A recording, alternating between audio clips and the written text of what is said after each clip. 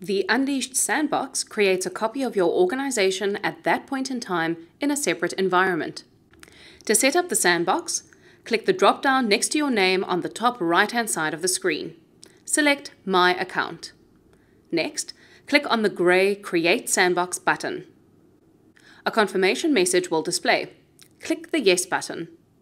This may take a few moments, but once you refresh the page, you should see a notification on the top right hand side confirming that the sandbox environment has been successfully created. You should then see the sandbox appear in your list of accounts. Click the View button to the right hand side to open the sandbox. You should then see the orange banner at the top of the page as well as the red message confirming that you are viewing the sandbox. Please note that the sandbox environment allows you to have full functionality in Unleashed, irrespective of the plan that your live account is subscribed to.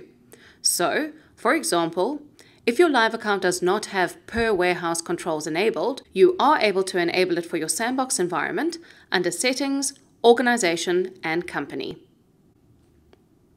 Thank you for watching.